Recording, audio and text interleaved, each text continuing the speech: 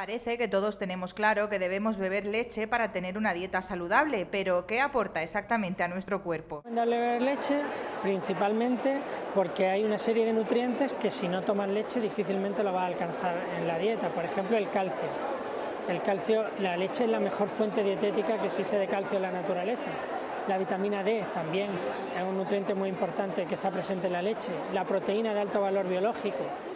¿Qué cantidad de leche debemos tomar? Las necesidades nutricionales varían eh, en las diferentes etapas de la vida y por tanto lo lógico es adaptar la alimentación a esas necesidades, es ofrecer eh, un producto adaptado a las necesidades de cada etapa de la edad, siempre utilizando la leche como base en todos esos productos.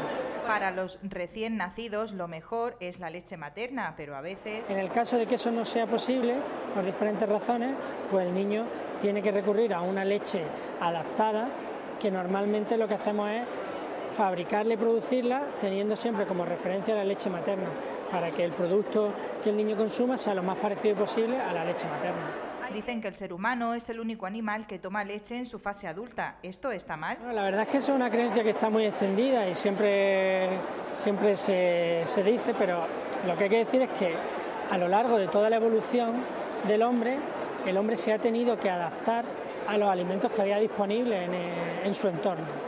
Entonces, probablemente hubo una época en la que el hombre no consumía leche después del destete, pero posteriormente con la ganadería la leche estuvo disponible y el hombre se ha adaptado a consumir leche y actualmente el hombre puede consumir leche sin ningún problema. Es más, la leche es un alimento muy completo que le aporta una serie de nutrientes que difícilmente puede conseguirlos con otros alimentos de la dieta.